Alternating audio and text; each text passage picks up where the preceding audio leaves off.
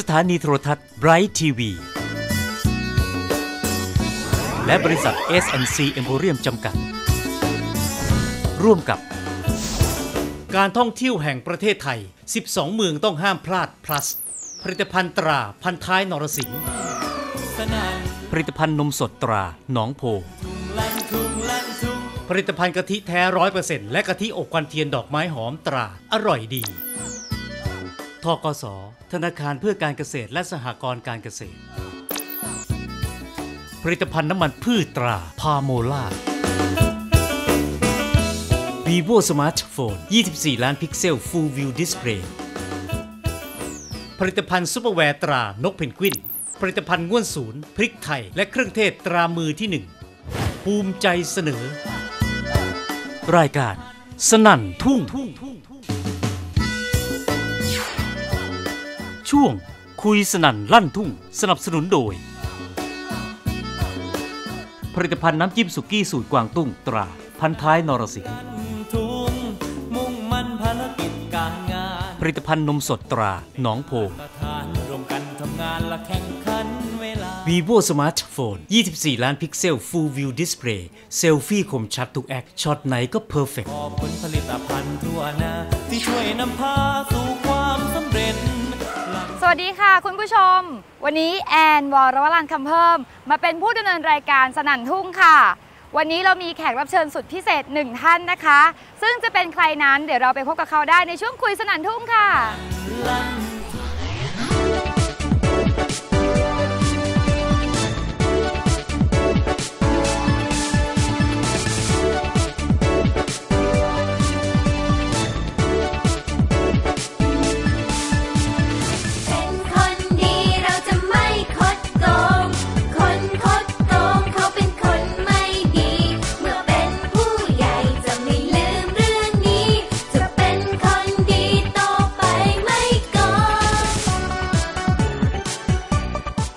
คุณผู้ชมคะและตอนนี้ค่ะ เราได้อยู่กับแขกรับเชิญของเรานะคะ ท่านเป็นผู้ที่มากด้วยความสามารถ ซึ่งปัญหากลโกง ต่อต้านการคอร์รัปชันได้ทุกรูปแบบค่ะ ปัจจุบันท่านดำรงตำแหน่งนะคะ เป็นผู้ช่วยเลขาธิการคณะกรรมการปปชภาค 7 ท่านพิเชษฐ์พุ่มพันธ์สวัสดีค่ะ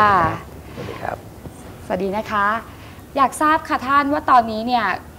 พื้นที่ภาค 7 ของเราเนี่ยอยู่ในลำดับการคอร์รัปชันที่เท่าไหร่ละคะ พูดถึง ภาพรวมของประเทศก่อนกันแล้วกันนะครับ ได้ค่ะ ในภาพรวมของประเทศเนี่ยค่า CPI ของเราเนี่ยครับเอ่อคะแนนเราได้ 35 ระดับที่ 101 นะครับ ก็ถือว่าค่ะค่อนข้างจะตกต่ำพอสมควรนะครับตอนนี้ก็ส่วนในภาค 7 เองของเราเองเนี่ยนะครับเอ่อในในเรื่องของในพื้นที่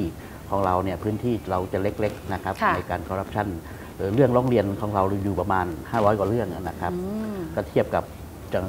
เอ่อในภาคอื่นก็ยังถือว่าน้อยอยู่ครับผมถือว่าน้อยอยู่ครับนะคะแล้วสำหรับเรื่องวิสัยทัศน์ในเรื่องของการต่อต้านคอร์รัปชันค่ะ ท่านพิเชษฐ์มีวิสัยทัศน์ยังไงบ้างเอ่ยเดี๋ยวขออนุญาตเรียนเรื่องคอร์รัปชันของเรื่องเรื่องด้วยสัยทัศน์ของเอ่อการคอร์รัปชันของยุทธศาสตร์ชาติเลยนะครับได้ค่ะเรื่องของ Zero Tolerance and Clean Thailand นะครับค่ะอันนี้เป็นเป็นเป็นวิสัยทัศน์ของเอ่อของวิสวิสัยทัศน์ ในเรื่องของยุทธศาสตร์ชาติเลยนะครับระยะของระยะที่สามเนี่ยนะครับ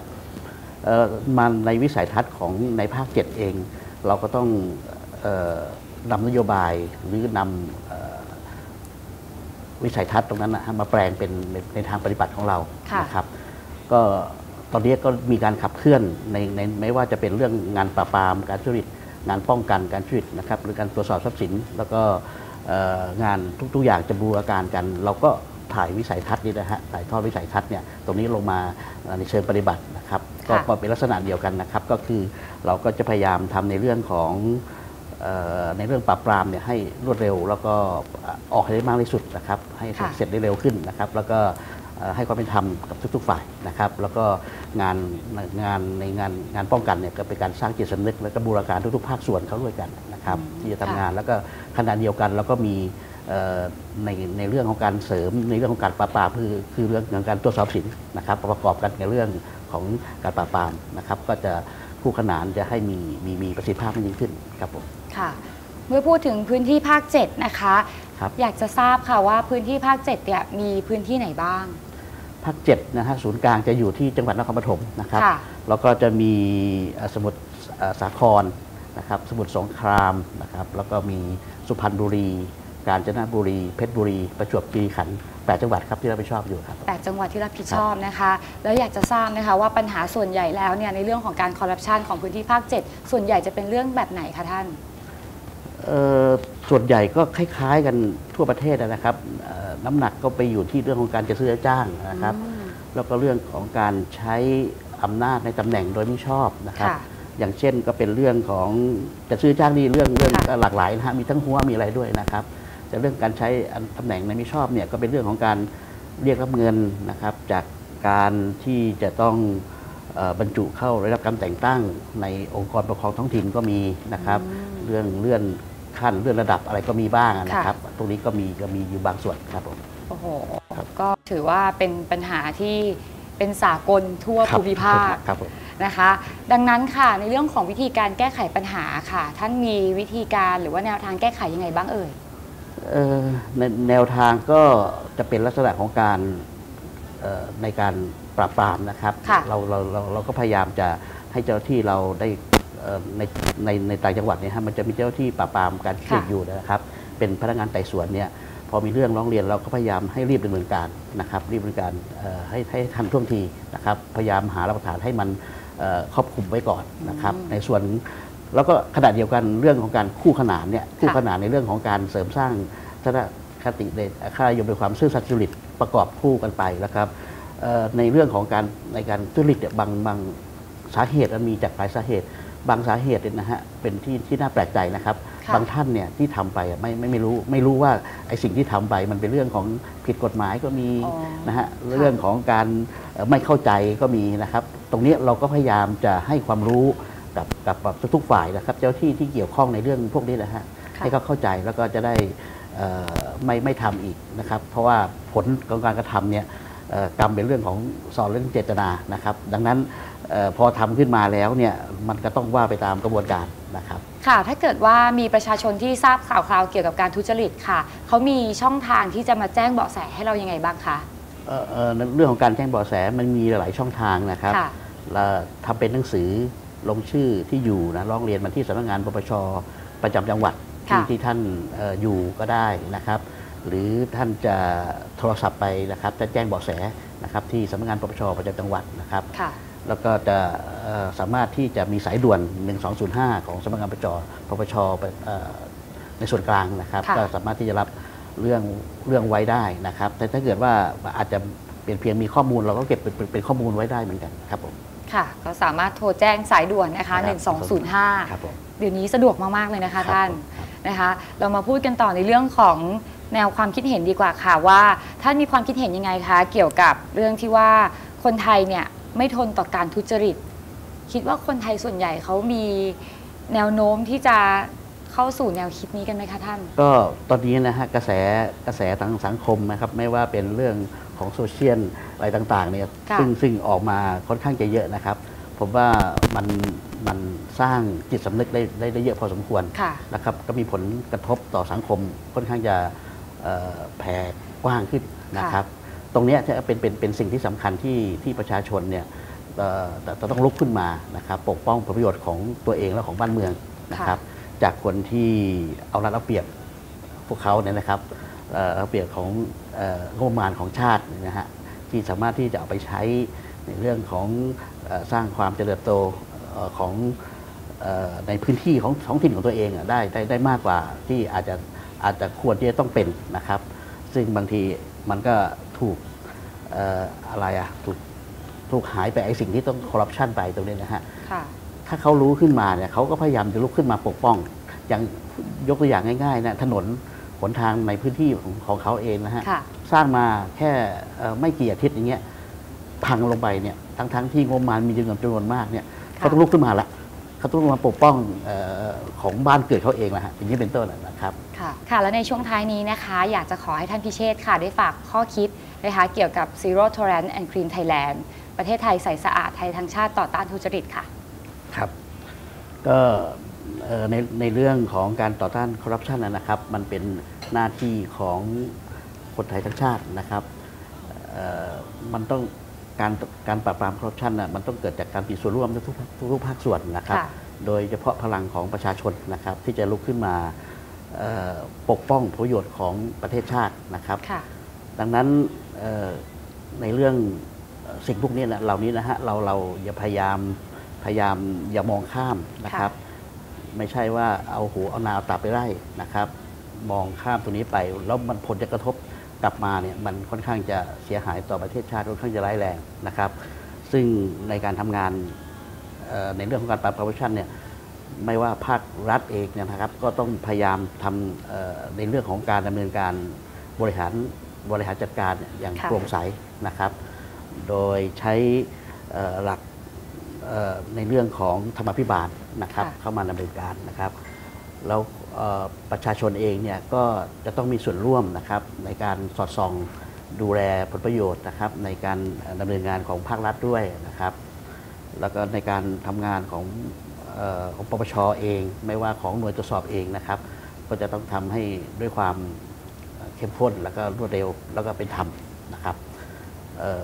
เราจะสามารถจะขับเคลื่อนไปได้นะครับ ตามตามยุทธศาสตร์ของชาติในระยะเอ่อที่3นี่เองนะครับ เราก็ตั้งเป้าหมายไว้ว่าในปีเอ่อ2565 เนี่ยนะครับค่ะก็ CPI ของเราเนี่ยจะได้ถึง 60 นะครับ ก็คาดคาดหวังไว้ว่าอย่างนั้นนะค่ะครับก็ถ้าทำได้ก็จะดีมากเลยครับนะคะท่าน ก็จะเป็นที่ยอมรับของประชาคมโลกด้วย แล้แล้ววก็ก็ยุคยุคยุคในไทยแลนด์ 4.0 เนี่ย มันก็ต้องมีการปฏิรูปแล้วก็เปลี่ยนแปลงอะไรเยอะแยะนะครับ ก็ต้องถ้าเราจะเจริญได้อย่างเต็มที่เนี่ย เราต้องคอร์รัปชันจะต้องหมดไปนะครับ เราจะพัฒนาประเทศชาติได้ได้เอ่อได้อย่าง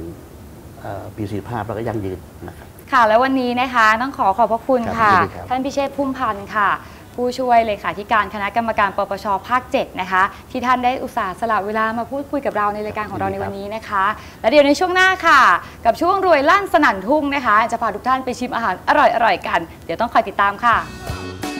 ผมขออนุญาตถามเรื่องของอาหารถิ่นต้องห้ามพลาด ของจังหวัดสุรินทร์ฮะค่ะ อาหารถิ่นของจังหวัดสุรินทร์เนี่ยมีเอกลักษณ์หรือมีอัตลักษณ์ยังไงเป็นพิเศษครับ มาถึงสุรินทร์แล้วนะคะ ต้องทานค่ะ อันแกปบ็อก เดี๋ยวนะฮะอันแกปบ็อแก๊กบบ็อก สนั่นทุ่ง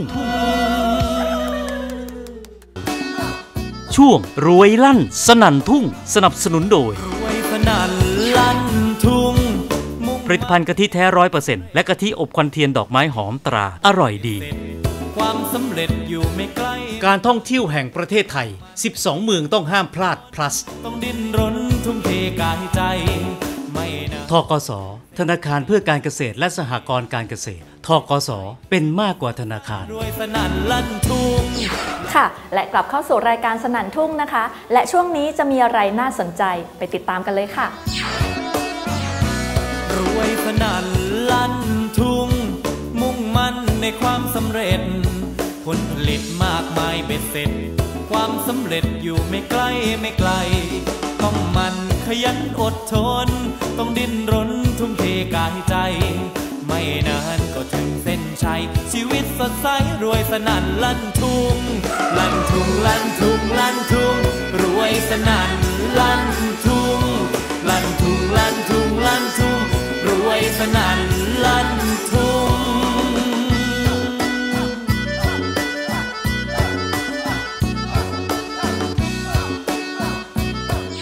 ครับ หลังจากที่เราหาอะไรอร่อยๆรองท้องระหว่างทางไปนที่เรียบร้อยแล้วนะฮะตอนนี้ครับเราก็มาหาอาหารหลักซึ่งเป็นอาหารถิ่นต้องห้ามพลาดของจังหวัดสุรินทร์ครับและตอนนี้นะฮะแบงก์ก็นั่งอยู่ที่ร้านแซ่บนัวครับซึ่งแบงก์ก็นั่งอยู่กับท่านผอบุญญานุชวรรณยิ่งนะครับผู้อำนวยการการท่องเที่ยวแห่งประเทศไทยสำนักงานสุรินทร์ครับสวัสดีครับสวัสดีค่ะ แล้วก็พี่เบียร์นะฮะเจ้าของร้านแซ่บนัวแห่งนี้ครับสวัสดีครับสวัสดีครับก่อนอื่นนะฮะท่านผอครับ ผมขออนุญาตถามเรื่องของอาหารถิ่นต้องห้ามพลาด ของจังหวัดสุรินทร์ฮะค่ะ อาหารถิ่นของจังหวัดสุรินทร์เนี่ยมีเอกลักษณ์หรือมีอัตลักษณ์ยังไงเป็นพิเศษครับ มาถึงสุรินทร์แล้วนะคะ ต้องทานค่ะ อังแกบบ๊อบ เดี๋ยวนะฮะอังแกปบ็อแก๊กบบ๊อบค่ะมันเป็นภาษาเป็นภาษาเขมร ซึ่งแปลว่าแปลว่ากบกบก็หากบยัดไส้ย่าง อืมคือคืออันนี้ใช่ไหมครับ ใช่ค่ะ เมนูนี้ค่ะ อันนี้คือเป็นอาหารถิ่น ซึ่งหาได้ทั่ว ๆ ไปในหาได้จังหวัสุรินททั่วร์ๆไปเลยหมค่ะค่ะค ข้างทางก็มีแม่ค้าเขาจะปิ้งย่างของเขาเลยครับนะคะจะเป็นในตัวเมืองหรือทางที่จะไปทางอำเภอปราสาทครับ อำเภอกับเชิงนะคะอืม ก็จะมีย่างกันอยู่ทุกวันครับ ซึ่งเป็นอาหารท้องถิ่นเลยเป็นอาหารที่ชาวท้องถิ่นกินกันอยู่เป็นประจำใช่ค่ะนะฮะค่ะและขออนุญาตถามพี่เบียร์นะฮะอย่างครับอ่าอังแก๊บบ๊อบแห่งชื่อนี้ใช่ไหมครัฮะบ ผมพูดถูกใช่ไหมฮะถูกครับเขาเขาทำกันยังไงฮะเพราะว่ากบยัดไส้ย่าง ครับ เห็นเห็นว่าไม่ใช่แค่ หมักแล้วก็ย่างเฉยๆ มันมีวิธีการทำยังไงฮะ ก็เบื้องต้นก็คือเราเตรียมกบมา แล้วเราก็หมายถึงว่าลอกลอกตัวหนังกบ แล้วก็ตัดใช่หัวตัดแขนตัดขาเขาออก ครับ ทีนี้ก็เอาทั้งเครื่องในทั้งเนื้อข้างใน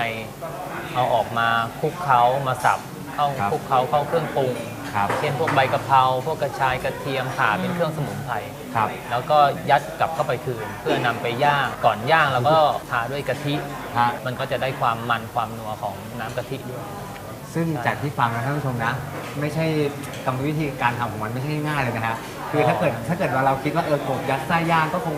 คงเป็นตัวกบแล้วก็ยัดไส้อะไรไปอีกหนึ่งที แล้วก็เอาไปย่างแค่นั้น ครับแต่นี่คือเราเหมือนเอาส่วนข้างในออกมาให้หมดออกมาก่อนใช่ครับ ให้มันเหลือแต่ใช่โครงไว้ แล้วก็ไปหมักไปทำกรรมวิธีต่างๆ ให้เป็นเอกลักษณ์ของมัน ค่ะ แล้วก็ยัดกลับเข้าไปใหม่ยัดกลับเข้าไปแล้วถึงเอามาย่างค่ะใช่ครับ ใส่เครื่องปรุง อ่าฮะ ใส่ใส่สมุนไพรใช่ครับอ่าเครื่องเคียงเครื่องเทศ ใช่อ่าเครื่องเทศต่างๆเนี่ยก็ก็จะย่างไปแล้วก็จะมีกลิ่นหอม ครับพูดพูดกันมาขนาดนี้ผมชักน้ำลายไหลแล้วนะครับ ขออนุญาตชิมก่อนเลยแล้วกันนะครับ กับเมนู อังแก๊บป๊อปนะฮะหรือค่ะกบยัดไส้ย่างนะครับค่ะครับเชิญเลยค่ะก็คือหนึ่งเมนูหนึ่งจานก็คือเสิร์ฟหนึ่งตัวของกบเลยใช่ไหมครับก็ตัวนี้น่าจะมี2-3ตัวอ๋ออ๋ออ๋อใช่นะครับอ๋อเวลาทานก็ทานได้ทั้งหมดเลยทานได้ทั้งหมดเลยนะฮะเพราะใช่ว่าครับก็ถือเลาะกระดูกออกไปบ้างบางส่วนแล้ว ใช่แล้วก็เราไปสับให้มันละเอียดครับใช่ครับมีแคลเซียมสูงค่ะอืมอร่อยครับ รสชาติจะคล้ายๆกับห่อหมกหรือว่าไส้อั่วใช่ไหมฮะรสชาติจะคล้ายๆไส้อั่วใช่นะครับใช่ค่ะอืมก็คือเรียกได้ว่าถ้าใครมาสุรินทร์แล้วอยากจะรับประทานอาหารถิ่นครับอาหารท้องถิ่นต้องห้ามพลาดของจังหวัดสุรินทร์ก็คืออังแกร็บบ๊อบแห่งนี้นี่เองใช่ค่ะใช่เมนูนี้นี่เองใช่ไหมครับครับ ใช่ค่ะ และนอกเหนือจากเมนูอังแกร็บบ๊อบหรือกบยัดไส้ย่างนะฮะทางร้านแซบนัวเนี่ยมีเมนูอื่นๆอะไรมาแนะนำบ้างครับ ครับผมก็เอ่อเริ่มต้นจากตัวนี้ครับตำปูปลาร้าครับอ่า ก็คือก็เป็นทีเด็ดของทางร้านเหมือนกัน ฮะ ซึ่งเอ่อน้ำทั้งน้ำปลาร้าต่างๆเนี่ยครับจะไม่เหมือนที่อื่น ครับ ทางร้านเรานี่คือต้มแล้วก็ปรุงรสแล้วก็กรองเอาเฉพาะแค่น้ำ ครับเพื่อมาตำกับตัวมะละกอเนี่ยครับใช่ครับ เห็นเขาว่าร้านแซบนัวเนี่ยนอกจากอาหารถิ่นต้องห้ามพลาดของเราในวันนี้ ส้มตำนี่คือร้านนี้นี่อร่อยเป็นเลิศมากๆ อร่อย อร่อยมากค่ะ โดยเฉพาะเมนูปูปลาร้าเนี่ย แต่ว่าร้านเนี้ยยังมีส้มตำอีกหลากหลายชนิดนะคะ ไม่ว่าจะเป็นส้มตำคอหมูย่างครับ นะคะส้มตำหอยแครง ส้มตำกุ้งสดนะคะส้มตำปู แล้วเนี่ยเห็นว่ามีเมนูใหม่ก็คือเกาเหลาซีฟู้ด ใช่ครับแต่ว่าส้มตำเด็ดจริงอืมๆค่ะก็คือเกาเหลาส้มตำเนี่ยแหละก็ใช่คืครัอบ ส้มตำที่ไม่ใส่มะละกอผมเข้าใจถูกไหมครับอ่าใช่ครับ อ๋อแล้วก็ใส่แต่เครื่องใช่ครับ แล้วก็ปรุงเป็นลักษณะของส้มตใช่ครับำแล้วเมนูอื่นครับมีอะไรบ้างครับก็ตัวนี้นะครับเป็นผัดไทยห่อไข่ เป็นผัดไทยกุ้งสดครับ อ่าถ้าทางลูกค้าจะชอบทานหมู หรือชอบทานไก่กุ้งหรือปลาหมึกครับ ออเดอร์กับพนักงานได้ว่าก็เลือกจะจะสั่งชอบได้แบบไหนครับใช่ครับผมอ่า ใช่ และอันนี้นะครับเอ้ยผมเห็น2อันเนี้ยหน้าตาเหมือนกันเลยครับ คล้ายกันครับ แต่ว่าตัวนี้ครับเป็นยำดักแด้ครับ อ่าส่วนตัวนี้เป็นดักแด้คั่วเกลืออ่าอืมตัวนี้จะเป็นน้ำยำใช่ครับ วิตามินสูงค่ะ ดักแด้ตัวดักแด้ใช่ไหมครับเนี่ยเขาสะอาด เพราะว่าเขามาจากลังไหมนะคะพอเสร็จแล้วเนี่ยเมื่อเราสาวไหมแล้วเนี่ยก็จะเหลือตัวดักแด้เนี่ยมา เพราะฉะนั้นวิตามินเขาสูงมากครับนะผมคะโปรตีนเขาสูงอื้อหือนำมารับประทานเนี่ยเขาถือว่า ช่วยทำให้ร่างกายแข็งแรง ครับมีนิดนึงว่าเขาบอกจะช่วยเสริมสมรรถภาพทางเพศด้วยนะคะ อ๋อแล้วก็รับประทานเพื่อสุขภาพเป็นเพื่อหสุนึ่งขเมภาพนูที่เพื่อสุขภาพนะฮะแล้วก็ค่ะ ยังมีเมนูนี้อะไรครับผม เอ่อตัวนี้เป็นซี่โครงอ่อนผัดพริกเกลือครับก็ผัดกับเครื่องเทศ เครื่องสมุนไพรเช่นกัน ครับผม ใช่ครับ แล้วก็อีก 2 เมนูนี้แหละครับ ก็ตัวนี้เป็นยำเล้งแซบอืม อ่าเป็นอีกสูตรหนึ่งของทางร้านนะครับ ครับ ซึ่งตอนนี้ใช่ครับเมนูเล้งกำลังฮิตมากเลยแล้วก็ฮิตมากครับ ฉีกจาก ที่อื่นที่ทำเป็นใช่ซุปเปอครัร์บเล้งอ่ามาเป็นเล้งใช่ยำแซ่บแห่งเมนูนี้นะฮะใช่ครับ และเมนูนี้นะครับตัวนี้เป็นอ่าปลานินลุยสวนครับ ครับใช่ครับ อืมเอาละฮะก็เป็นเมนูก็หลากหลายร้านคือมี แต่ครับว่าแต่ละร้านคือจุดเด่นของน้ำยำและเครื่องเทศที่เราใส่ในตัวตัวเมนูนี้ครับก็เป็นสูตรเฉพาะของร้าน ใช่ครับ เรียกได้ว่าถ้ามาสุรินทร์นะฮะก็ต้องมารับประทานเมนูต้องห้ามพลาดนะฮะนั่นก็คือ อังแกบบ๊อบหรือกบยัดไส้ย่างนะฮะ แล้วก็ถ้าเกิดว่าใครมารับประทานที่ร้านแซ่บนัวแห่งนี้นะฮะ ก็มีเมนูที่พี่เบียร์แนะนำไปอีกตั้งหลายหลายๆเมนูนะฮะครับก็มาก็สั่งกันได้นะครับ พี่เบียร์ครับ แล้วถ้าจะมาร้านแซ่บนัวแห่งนี้นะฮะ ครับ มีวิธีการมายังไง ก็คือจะ search ทางอินเทอร์เน็ตก็ได้หรือว่าจะเป็นมีเบอร์สายตรง หรือเบอร์ทางร้านก็ครับ รับตลอด 24 ชั่วโมงก็ว่าเบอได้ร์เบอร์อะไรครับพี่รบกวนบอกหนะครับ อ่าถ้าเป็นเบอร์ทางร้านนะครับ 084 606 1ตอง3ใช่ครับ นะฮะก็คือเรียกได้ว่าถ้าเข้าเมืองสุรินทร์มาโทรถามได้เลย เดี๋ยวมีพนักงานคอยบอกทาง ใช่ครับ หรืออีกหนึ่งช่องทางคือถ้าผม search เอ่อ Google Map ครับ ก็มาได้เลยขึ้นนะฮะร้านแซบนัวจังหวัดสุรินทร์อ่าขึ้นครับก็ขึ้นเลยนะฮะขึ้นครับ ก็จะพาท่านผู้ชมมาที่ร้านแซบนัวแห่งนี้นะครับครับผมครับ อ่านะฮะแล้วก็เอาเวลาเปิดปิดเหรอครับเปิดปิดกี่โมงก็เวลาเปิดอ่าเปิดบริการ 11 นาฬิกาครับ อ่าปิดบริการ 22 นาฬิกา ครับผมเปิดปิดทุกวันครับ 11โมงเช้าถึงใช่ครับ4ทุ่มนะครับ ใช่ครับ เปิดทุกวันนะครับผม ถ้าใครมาก็โทรมาสอบถามกันได้ หรือครับถ้าใครเขินไม่กล้าโทรก็เซิร์ช Google Map กันได้ ได้คกัรับบชื่อร้านแซบนัวจังหวัดสุรินทร์แห่งนี้นะครัใช่บ ครับ สำหรับช่วงนี้นะครับต้องกราบขอบพระคุณท่านผอบุญญานุชวรรณยิ่งนะครับผู้อำนวยการการท่องเที่ยวแห่งประเทศไทยสำนักงานสุรินทร์ครับขอบคุณครับ ยินดีค่ะ แล้วก็ขอบคุณพี่เบียร์นะครับเจ้าของร้านแซบนัวด้วยครับขอบคุณครับ ขอบคุณครับ ซึ่งทั้งสองท่านมาแนะนำอาหารถิ่นต้องห้ามพลาดกับเราในวันนี้กับเมนูที่ชื่อว่า อังแกบบ๊อบนะฮะหรือกบจัดไส้ย่างนั่นเองนะฮะ ค่ะ ใช่ ชาวจังหวัดกาญจนบุรี ร่วมกับททท การท่องเที่ยวแห่งประเทศไทย กาชาติ จังหวัดกาญจนบุรี ภาครัฐ และเอกชน ร่วมจัดงานสัปดาห์สะพานข้ามแม่น้ำแควและงานกาชาติจังหวัดกาญจนบุรี ประจำปี 2560 ในครั้งนี้ บริษัทอีพีล่าจำกัดผู้จำหน่ายผลิตภัณฑ์น้ำมันพืชตราพาโมราภายในงาน ได้มีการแสดงสินค้าและมอบผลิตภัณฑ์น้ำมันพืชพาโมราให้กับผู้ว่าราชการจังหวัดสนั่นลั่นทุ่ สนั่นทุ่ง ช่วงฮัลโหลลั่นทุ่ง สนับสนุนโดยลั่นทุ่งมุ่งมั่นรักษาผลิตภัณฑ์ซุปเปอร์แวร์ตรานกเพนกวิน ชนและอยู่ดีกินดี น้ำมันพืชตราพาโมล่ากรอบนอก นุ่มใน วางใจพาโมล่า ทุ่งสามัคคีค่ะ และกลับเข้าสู่รายการสนั่นทุ่งนะคะ ในช่วงฮัลโหลลั่นทุ่งค่ะ และเรื่องราวดีๆ ในช่วงต่อไปนี้จะมีอะไรให้น่าติดตามไปชมกันเลยค่ะ ปันสิ่ง ดีๆมอบให้กันช่วงฮัลโหลลั่นทุ่งวันนี้เรามีกิจกรรมดีๆ เพื่อย้อนรำลึกถึงเหตุการณ์ในอดีต สมัยสงครามโลกครั้งที่ 2 ของจังหวัดกาญจนบุรีมาฝากกันค่ะ ชาวจังหวัดกาญจนบุรีร่วมกับททท การท่องเที่ยวแห่งประเทศไทย กาชาติ จังหวัดกาญจนบุรี ภาครัฐ และเอกชน ร่วมจัดงานสัปดาห์สะพานข้ามแม่น้ำแควและงานกาชาติจังหวัดกาญจนบุรี ประจำปี 2560 ในครั้งนี้ โดยนายวิสรุตอินแยม ผู้อำนวยการสำนักงานการท่องเที่ยวแห่งประเทศไทยสำนักงานกาญจนบุรีเปิดเผยว่า จังหวัดกาญจนบุรี ได้กำหนดจัดงานสัปดาห์สะพานข้ามแม่น้ำแควและงานกาชาติจังหวัดกาญจนบุรี ประจำปี 2560 ในระหว่างวันที่ 24 พฤศจิกายน ถึงวันที่ 3 ธันวาคม 2560 ณ บริเวณสะพานข้ามแม่น้ำแควและลานข้างสนามกรีบบัวอำเภอเมืองจังหวัดกาญจนบุรี โดยมีวัตถุประสงค์ เพื่อเป็นการส่งเสริมการท่องเที่ยว สร้างรายได้ให้แก่ผู้ประกอบการ และในครั้งนี้ บริษัทอีพีล่าจำกัดผู้จำหน่ายผลิตภัณฑ์น้ำมันพืชตราพาโมราภายในงาน ได้มีการแสดงสินค้าและมอบผลิตภัณฑ์น้ำมันพืชพาโมราให้กับผู้ว่าราชการจังหวัด เพื่อใช้ประกอบอาหารในโครงการอาหารต่างๆ ในครั้งนี้อีกด้วยค่ะโอ้สนั่นลั่นค่ะสำหรับช่วงสุดท้ายของรายการสนั่นทุ่งนะคะ ก็หมดเวลาลงแล้วค่ะ และครั้งหน้าเราจะพาทุกทท่านนะคะ ไปพบกับเรื่องราวดีๆที่ไหน ติดตามชมในครั้งหน้าสำหรับวันนี้ลาไปก่อนนะคะ สวัสดีค่ะ โอ้สนั่นลั่นทุ่ง